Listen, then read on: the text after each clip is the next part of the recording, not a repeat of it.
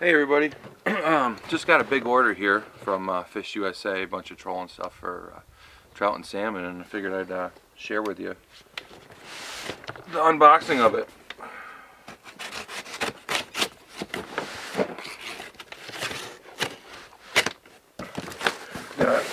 Trip planned this August up Lake Ontario, so what better reason to stock up than a fishing trip. Here. Got a couple of new reels for our new Dipsy rods. Been using these uh, Okuma cold water, started last year, and I really like them. Uh, they're a nice high speed reel too, so you're not cranking for hours waiting for, uh, you know, to get your lines back in to check them.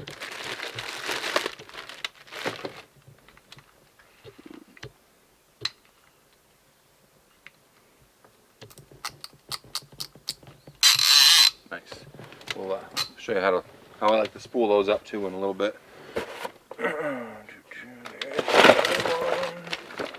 I'll wait to open that one. Just uh, it's the same thing. Um, we got these slide divers too. These light bites we're gonna give a shot.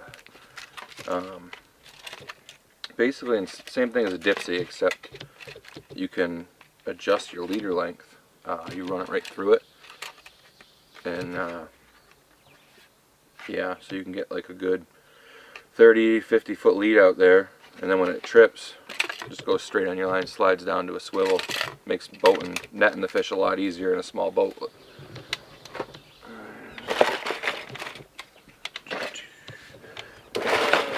we got a couple of flashers.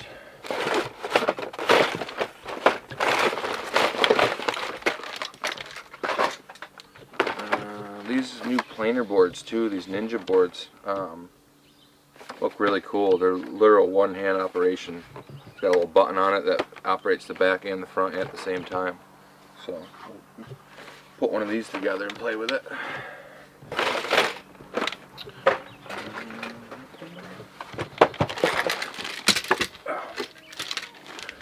A couple of meat rigs. Um, go behind the Dodger with some herring strips in them. Ring kit for the dipsies, make them go deeper.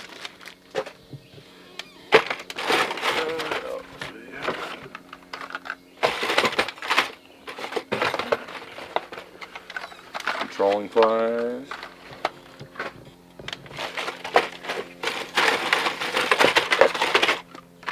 Silver. Spoons. Another meat rig. And what order isn't with a giant pile of spoons? Uh, Dirty White Boy. What's this one? Black Ice. Blue Bubble. Wonder Bread. We've been doing really good on Wonder Bread lately, so grabbed a few more of those. Uh, and these are all Dreamweaver uh, standard size spoons. Chili Willy.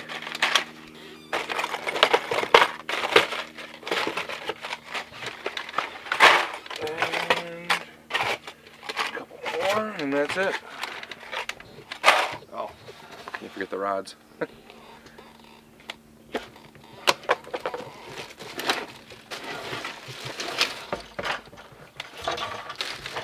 These are the Okuma White Diamond 10 foot dipsy diver rods. Really excited for these. Get them a little farther out away from the boat than what we're currently running. We have 8 footers.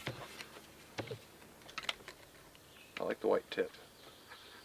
It's going to be really easy to see any kind of action going on with it. They're nice and light too, actually.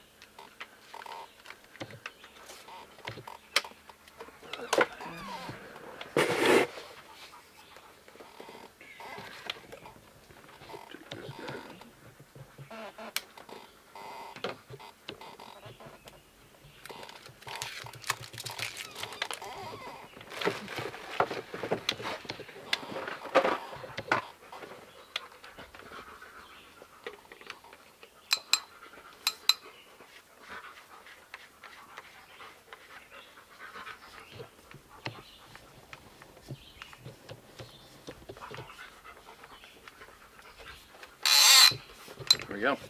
Let's get some line to put on.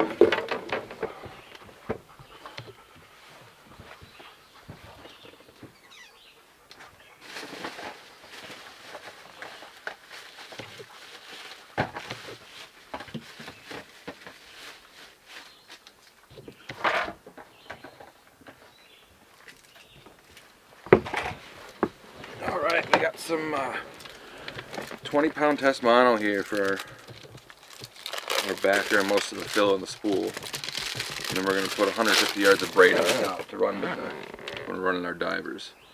Uh, a lot of people like to run wire. Not a big fan of wire. It's uh, too much risk for kinks and uh, just it's not user friendly.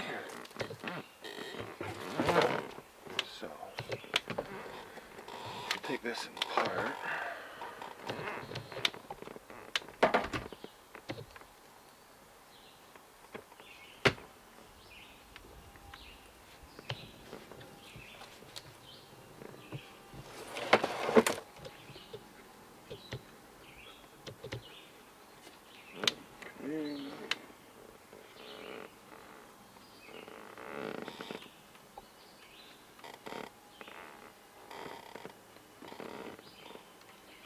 Get around the spool here.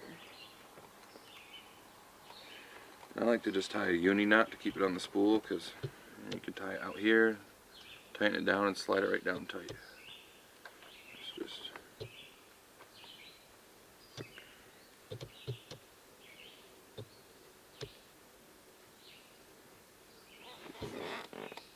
Line it up.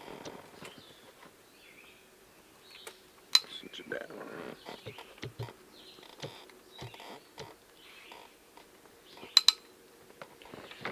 Trim the tag. Make sure your knot holds good. Hopefully we don't ever get taken down that far, but never know.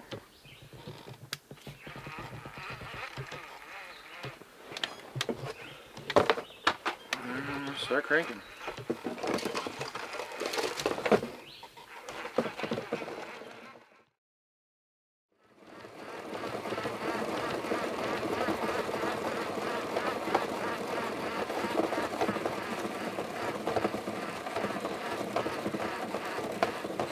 That should probably be good. So, now our braid to it. We got some uh, 150 yards of 40 pound Power Pro super slick air.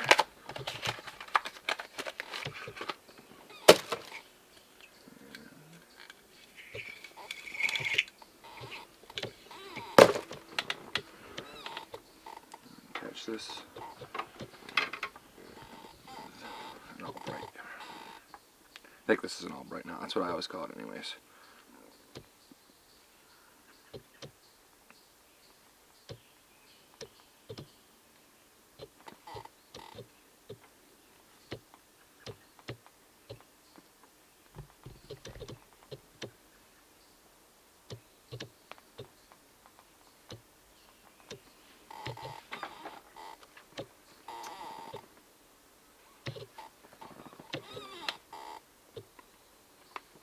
Ooh, spider.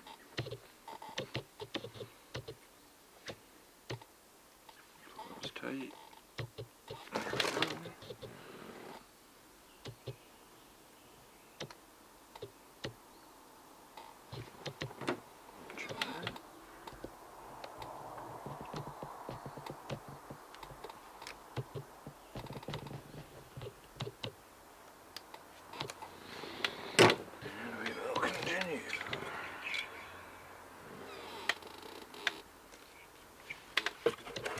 Try. I this is gonna work or not. Try to loop the braid around the box here so we need a little tension on it. We'll see how this goes.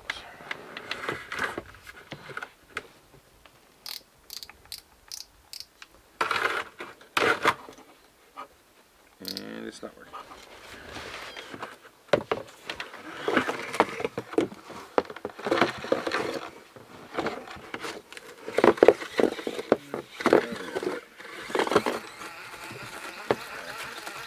We're not on super tight, so we'll have to let it out once we're on the water with something on it, and then you crank it on tight. You don't want your braid too loose on the spool, because then you'll end up it'll dig into itself actually once you have a fish on take taking drag, and it's just not something you want going on.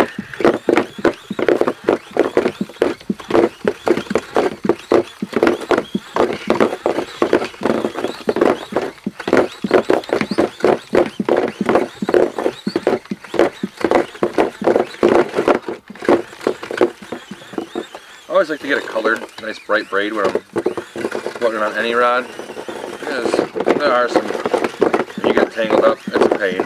It's just nice to have something you can see good. There we go.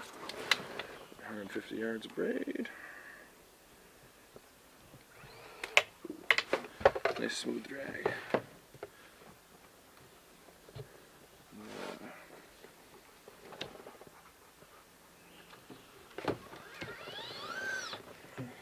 And then I have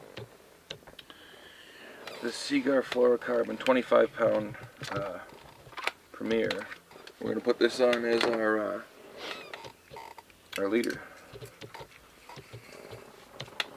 For this, we're tying Alberto knot. And take your leader, loop it, crank your burden, come through your loop. Oop, Let's try that again. Through the loop,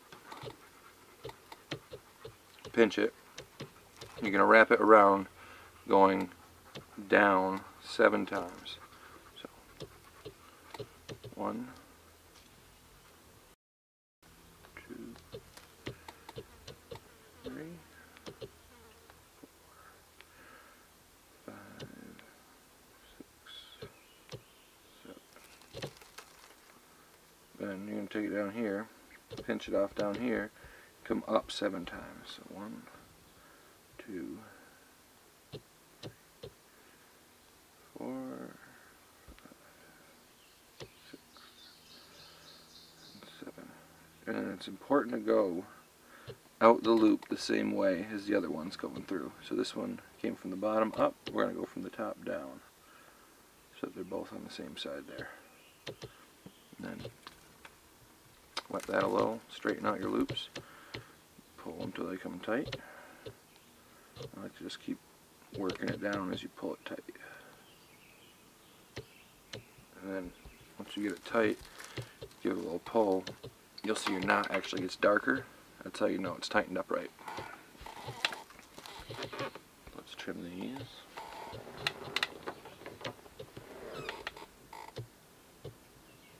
You can get nice and close with this knot. Because the tighter you pull on it, the stronger it'll actually get.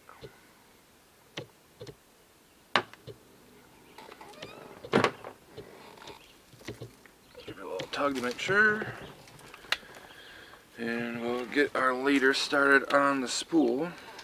Zero our reel. And we have two rods, 25 yards. So I think we're going to go with about 40 feet on each.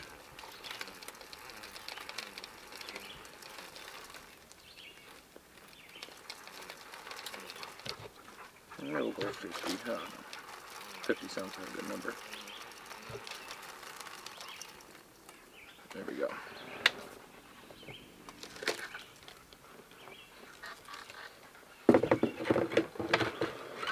Trim. Let's put it together. I love the drag on these.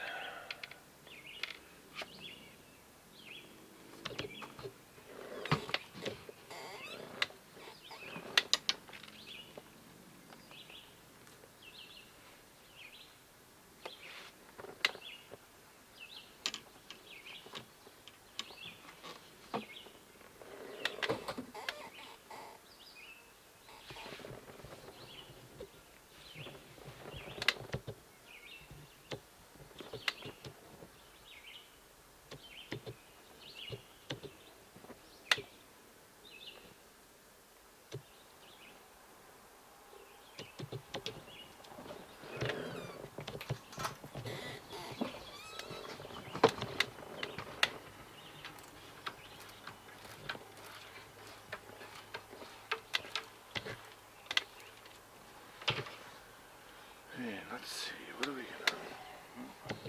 No.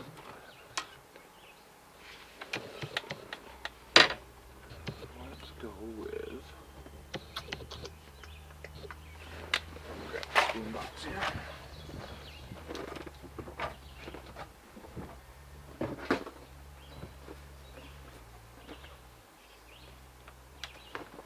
Finish this part out. I don't any swivels.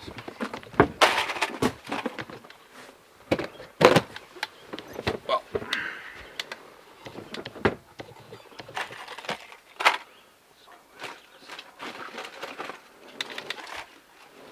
See how these slide divers go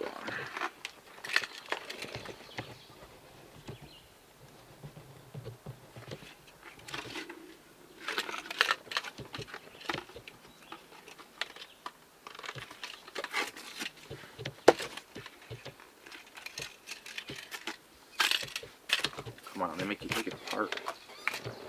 I'll have to get a screwdriver. I'll be right back. So, got my screwdriver here. All you gotta do, apparently, is get this little, loosen it up. Get that loosen.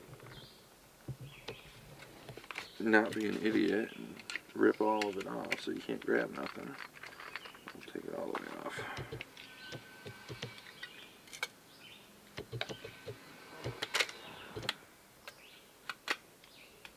Back on.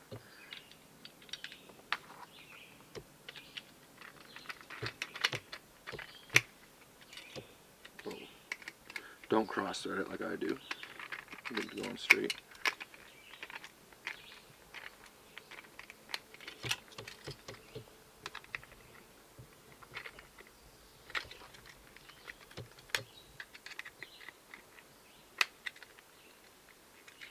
There we go.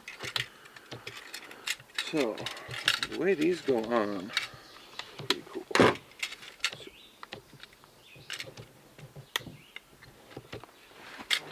Let's get our line here.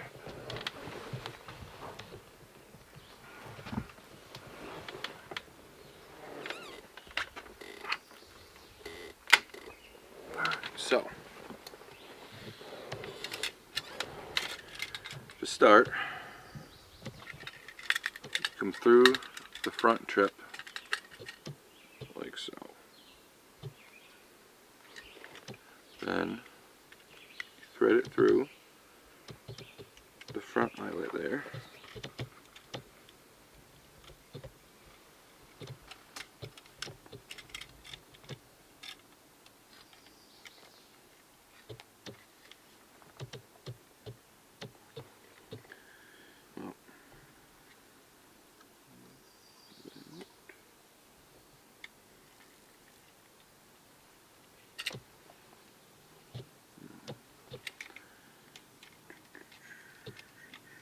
So, correction, I don't know where that goes yet. I think they go on the arm itself, actually, rather than on the line. And I threw Um. Wow, it's so descriptive.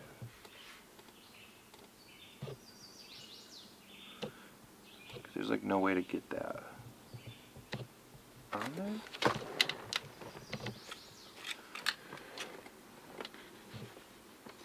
Alright, try this again.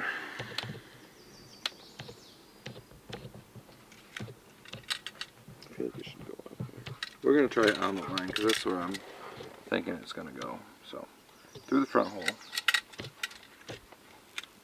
through this hole, struggle with this because I have fat fingers. Pull it up to the side.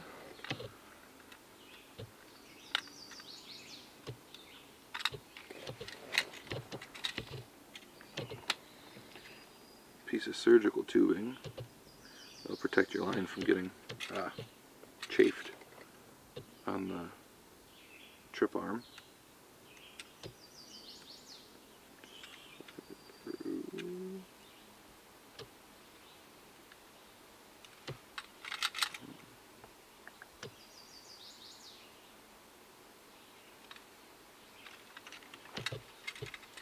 There we go. It fits perfectly. So that is where it's gonna go. And then back through the rear guide.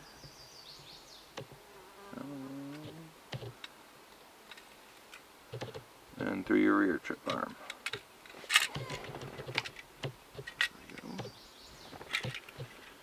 We then we're gonna make our uh, tire swivel on. So we're gonna put a spoon on this one.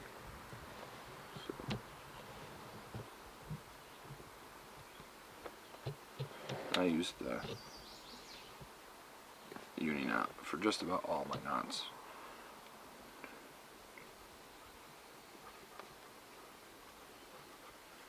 I like to go around six times.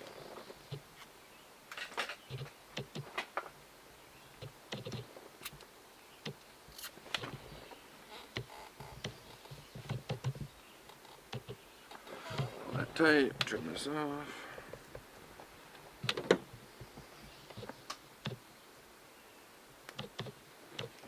We're going to go with about six feet from our lure to where the diver is going to end up um, after it's tripped. The pinch there. Cut that. Then on the line, we're going to slide a bead to protect our knot from the diver sliding down and smashing into it.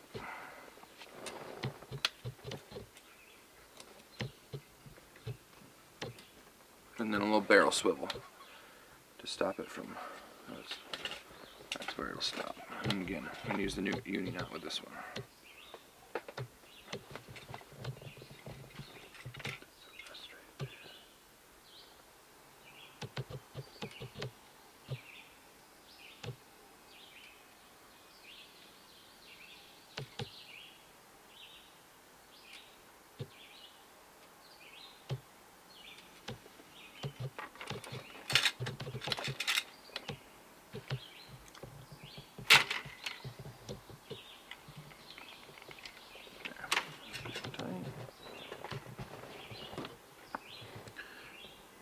Trim.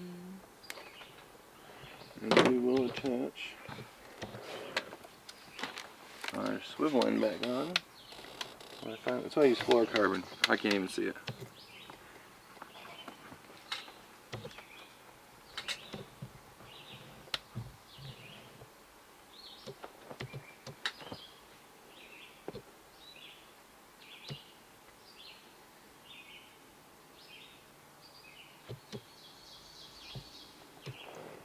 And that uni knot five or six wraps, it's just about the same for either. Same strength wise. Take that out.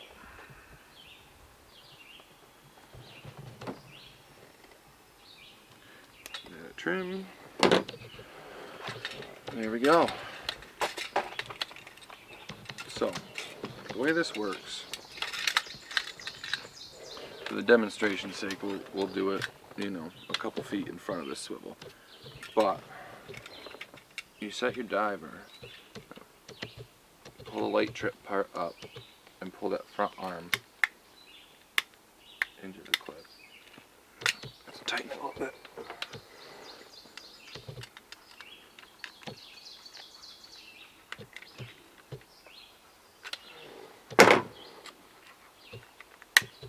There we go. So, you have.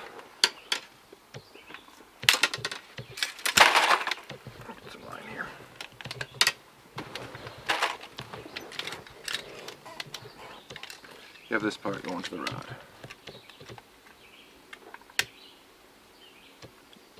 Your line to your lure is coming through here. This is to your rod. So, if when you go to clear it, you give it a yank, it slides right down and then you have your six feet to your lure. Same with a fish. You have this set out there, and you're trolling along and a fish hits it, boom, trips, slides down. So when you're fighting that fish at the back of the boat, you only got six feet from your diver to the fish. Whereas if you had a traditional dipsy, you know, you want to run a 20 foot lead, you need 20 feet of leader off the back of your dipsy, then you got to hand line that fish in at the end. That's just it, takes some of the fun away from it. So that is the advantage of the slide diver. We let's see, what are we gonna put on here? Let's go with all right, this one. We got green outlife.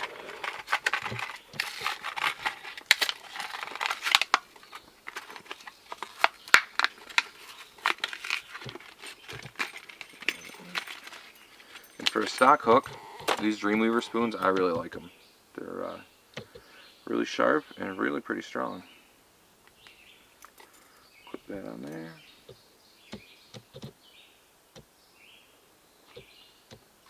And there we go. Ready to run.